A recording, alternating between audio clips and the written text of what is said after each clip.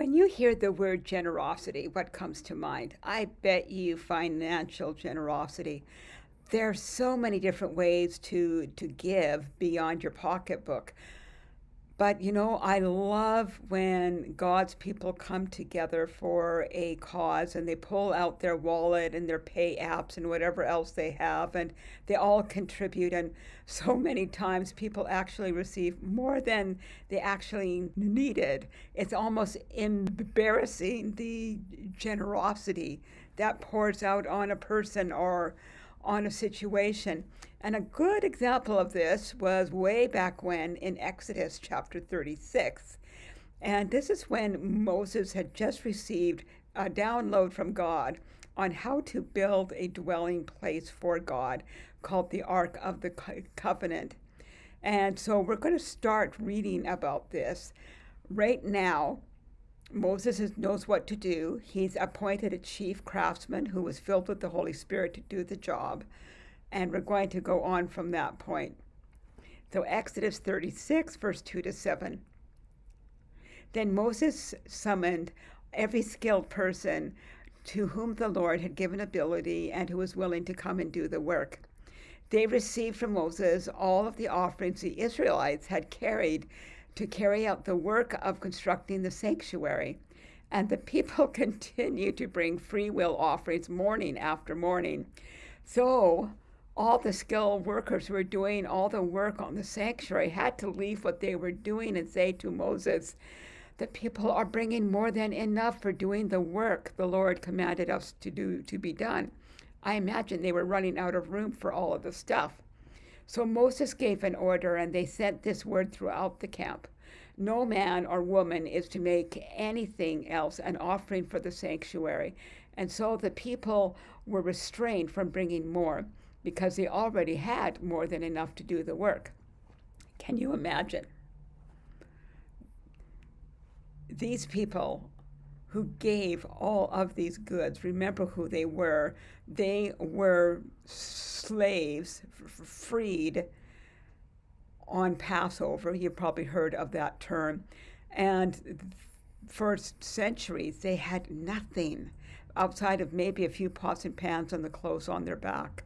But the night that they left Egypt, their former slave owners gave them stuff just to get them out of town. And they had gold and fine linens and all of this. And this is what the Israelites brought with them to the desert. And then they gave from that bounty for this project they gave something that they never had before in order to fulfill seeing this Ark of the Covenant being built. Wow. But you know, the um, at the end of the day, after they gave their offerings morning after morning, uh, they didn't have to do anything else as far as the sanctuary went. They could go do their own stuff. They could go play ball. They could do whatever um, chore they had to do. They could sit around the kitchen table. Well, they were in tents, but you know what I mean. Um, their day was their day to do whatever they wanted to do, and their days and their weeks and their months were theirs to do with what they wanted to do, basically. But the craftsmen were a different story. If you go up to verse 2, you'll see that they meant that it says, all the skilled craftsmen who are willing to come and do the work they were not con- conscripted outside of the chief craftsman. They volunteered their time, their energy, and their skill set in order to do the job that needed to be done. And it t- took about nine to 12 months, uh, according to different timelines that I looked up. So they while their fellow Israelites gave generously, there was no time co- commitment outside of a few of them who were making some items. But once the call went out, don't break anything else, they weren't making those items. But to make anything requires a sacrifice of time. Let's go ahead 1200 years, shall we? Okay. And we are now sitting with Jesus looking over the temple. And we see people coming and going from the temple the rich and the famous, the uh, clergy, young parents bringing their children to be dedicated to the Lord. Hustle and bustle, and it's a very busy place, so you probably didn't notice this one person that Jesus did. It's a little quintessential old lady dressed in widow's garb, but Jesus' eyes were right on her. As she walked, not even aware that Jesus was watching what she was doing, she probably had a cane in her hand. She was probably older. She hobbled across the, the courtyard trying to avoid all of the crowds, hoping not to get knocked over. And but yet if you looked at her hand, she had something in her hand that she was clenching very close to her chest. And she had her eyes fixed on a goal of some sort, and she finally made it there. And it was the temple offering box where people were expected to um, give a, do- a donation for the upkeep of the temple every time that they visited. So here is this little old lady opening up her coin purse. And she carefully, gingerly takes out every coin and drops two coins in the offering. There was nothing else in that wallet. Jesus saw her and applauded her generosity and called her out to the disciples, saying, There is a woman of generosity.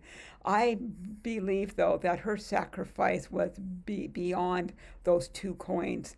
She could have given two coins for the offering to a neighbor who was going to be walking by the temple, but she chose to get dressed the best she could, get her cane out, and get to the temple whatever way that she could. So her contribution meant something to her.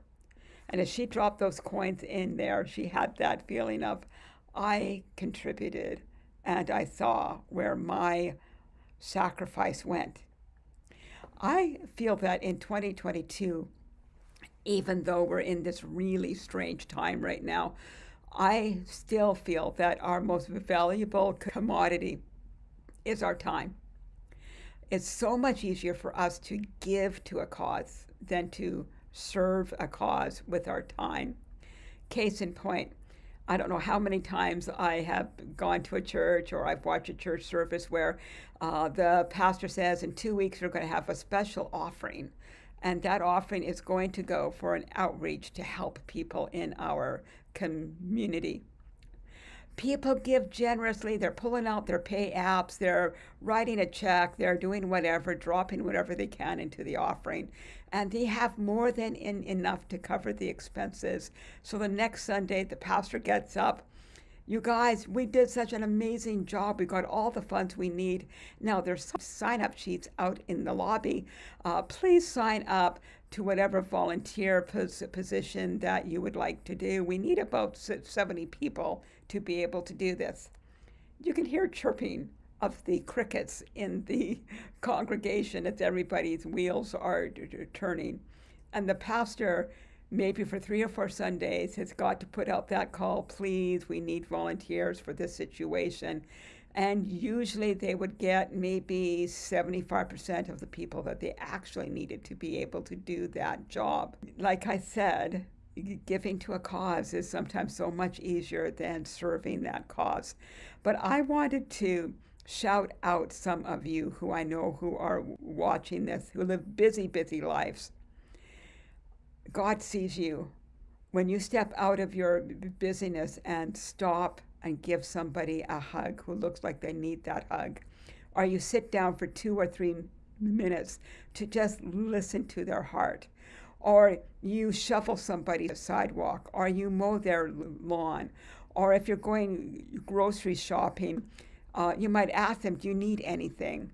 Uh, these acts of generosity in the busyness of our everyday lives now are real acts of sacrifice. And I believe that God wants you to know that He celebrates your sacrifice of time in the same way that Jesus celebrated that little old woman who spent her day making it to the temple just to drop her two coins into the offering box.